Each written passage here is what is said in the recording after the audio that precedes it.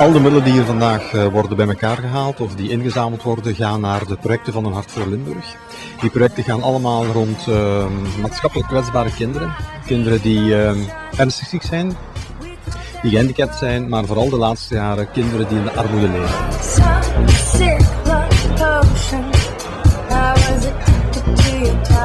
Wel, ik denk dat, er, dat wij te weinig beseffen hoe goed dat wij het hebben in onze huidige wereld, ondanks de crisis, ondanks de problemen die er overal zijn. En vandaar dat we zoiets hebben van nee, schenk ons geen bloemen of planten, maar geef wat centjes die het goede doel tegemoet komen.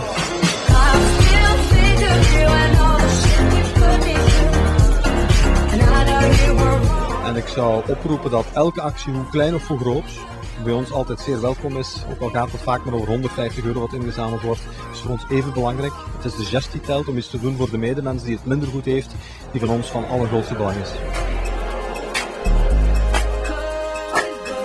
Wel, wij hebben vooral een jonge groep medewerkers.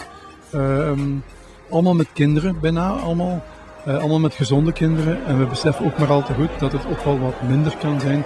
Dus vermits het Hart voor Limburg zich vooral inzet voor kansarme kinderen van Limburg, vinden we eigenlijk dat, er, um, dat we daar gerust mogen aan helpen.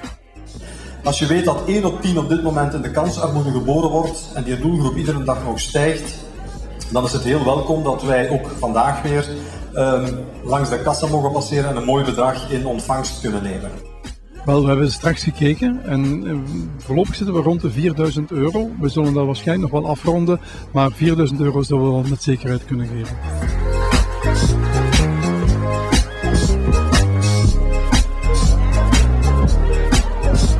Heel dankbaar. Die zijn heel dankbaar met de, met de middelen die wij inzamelen. Uh, wij voelen dat één keer per jaar nodigen wij die mensen uit en dan uh, zie je dat je met soms 1500, 2000 euro werkelijk een heel groot verschil kunt maken. En die mensen zeggen dat ook en zijn er ook heel dankbaar voor.